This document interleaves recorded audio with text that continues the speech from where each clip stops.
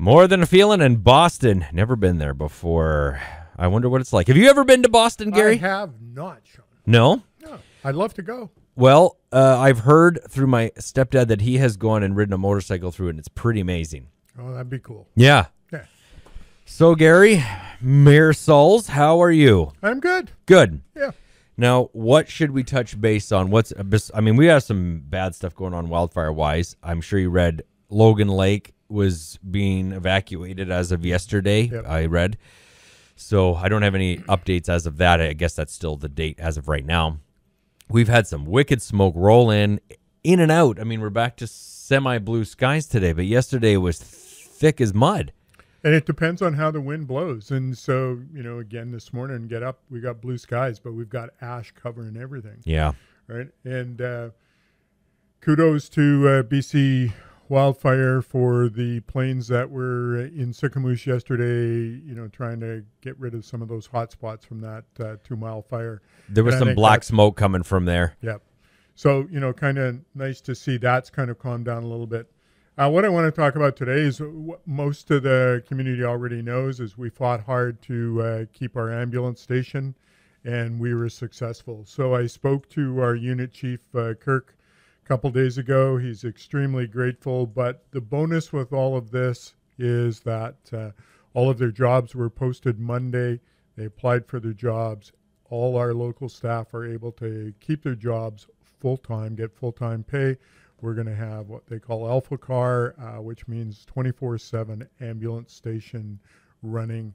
Uh, not only did we get it here, we fought for uh, Golden and uh, Kimberley, but all 22 of the communities that were going to lose their stations to uh, the service on call mode now get to keep it 24 7. And in addition to that, uh, Tofino and Lake Cowichan as well. So, bonus for everybody.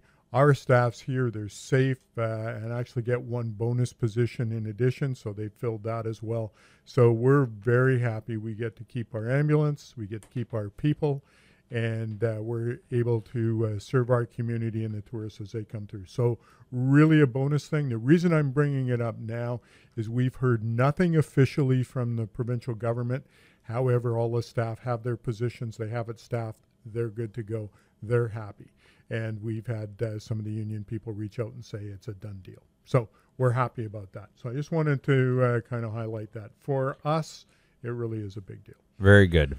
Uh, talk a little bit about uh, what we talked about last week. Still some green belt repairs going on, so just so the community is aware of that.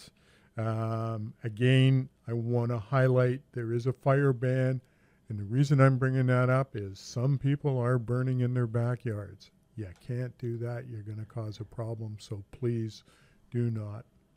Someone's having a fire in their backyard. Yep. Yep. So Who are they? Tell me their name and their address. I- I put it on. Put it on the air. It, it'll get out. Holy we don't- moly! we don't want any serious harm done to them. But uh, if there's a fire ban, that means it's not safe to have a fire, and we want to keep our community safe. So please adhere to the rules. They're there for a reason, not just because we don't want you to have a fire. It's because we want to keep. It's everybody pretty safe. ballsy. I was told by someone that they were buying a propane fireplace for a gift for their significant other. They were just buying it. It was before they weren't going to use it. They just Yep. bought it because they knew that they wanted one, and they were given the gears while waiting in line, and then they ended up not buying it. And I'm Well, like, that's that's sad to hear that. Yeah, sort of I know. So, yeah, um, there will be a time where we'll be able to use them, but at this point in time, still uh, Yeah. nothing there. And then just going on to uh, my staff gave me some notes uh, regarding OCP. There's definitely some uh, ongoing engagement. Uh, the uh, focus group community members are working with the staff to review the Revelstoke uh, sustainability plan, uh, the vision, community priorities, public engagement. And then, so they're going out to the community through uh, the farmers market, Soup and a Smile, the food bank, uh, ESL, college classes, and talking to the community about the OCP and how they can engage. Um, so we've got some uh, uh, engagement grant money from something called Plan H, which is a partnership of BC Healthy sorry, it's called what? Preparation H. yeah, similar. Plan H. Thanks, Shaun. Uh, a partnership of BC Healthy Community Society and the Ministry of Health.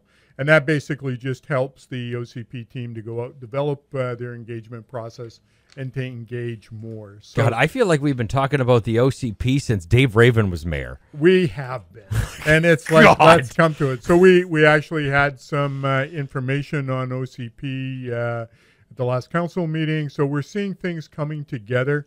We do want to hear more from the community. So again, Talk Revelstoke uh, will be uh, uh, through their o- official community plan page, be the main source for uh, information, so people can go. I know it seems like I'm a, I'm just droning on about this thing, but it's important to the community. So people, if you want to get your word in and engage, by all means, the opportunity's there. Okay, uh, wayfinding strategy that's still underway. Do Yes. me a favor because it's starting to bug me now. That when you go over to Columbia Park on the right hand side where um, the, the gas station used to be, what was Yep. the shop called? It was a Jerry ran it, I think. yeah, I Yeah. can't remember what the name was. Right, It was, okay. a, it was an Esso. Yeah, Jerry's Yeah. Esso spot. Right. Yep. So right on the other side of that, there is a wayfinding strategy sign, and it's the old one, and it's got the burgundy, the yellow, but it's been replaced over time from different arrows and stuff. And all the other ones are down and being re- repurposed, and that one's still not. It's bugging me. It, my OC, O, OCD's. Just get them to take it down, please, and get it fixed. Okay. Okay. Work on We'll that one. that. We we already had a big argument about wayfinding. Might as well fix that one too. And I'm seeing actually some foundations and whatnot going in for new signing along Victoria Road. Well, I Uh, actually so- didn't realize they were doing the one on the entrance by the bridge. Yeah. Yeah, I, I- I, I, didn't expect it to be torn down, but anyway. No, neither did did. I. I saw the signs and I thought, oh, okay. And then I noticed that it's all the bricks all gone now. Yep. I guess they realized it looked a little too 80s. I don't know. Here we go. Um, and the downtown core obviously was a hot topic a few months back. It's been you know low in discussion as of the last short while because of the wildfires and other stuff going on. But at some point, I'm assuming maybe fall, we'll see some form of presentation and what they're hoping to see, what the plan is. Is Yep. there anything new on that?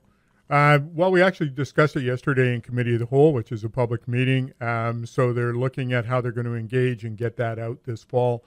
Uh, the grant money is, states that we have to start the process or, or the whole project in 2022. So that'll be started next year. Um, but definitely they want to engage. What does the community want to see? They'll present some plans and get some input from the community. I'm not sure exactly when that's going to start, but definitely we know it's on the horizon. A few contractors told me that what was it? I think we got like 350. I'll just say 350, I think, give or take. It's not a heck of a lot of money in today's standards based on what might it cost to actually do a whole reno. So Yep. it makes me wonder is it going to be more cosmetic, not a drastic change, but a few changes? So I think people are still kind of curious like is it going to be here's option A, here's option B, here's option C. Which one do you like the least? We'll throw that one out. Here's the ones that you kind of like, and then we'll revamp from there. That's probably how it's going to go. I know that they're talking about taking away the curbs so that people aren't tripping over that edge.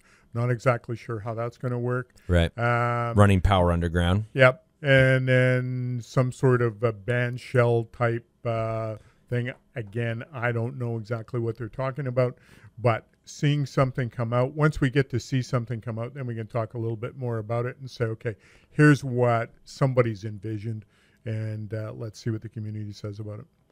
Okay. Well, we will be back with the mayor report. Not next Friday. I'm on vacation, and we'll check in with Gary the week after. All right. Good enough, Shaun. Thanks. Have a good vacation.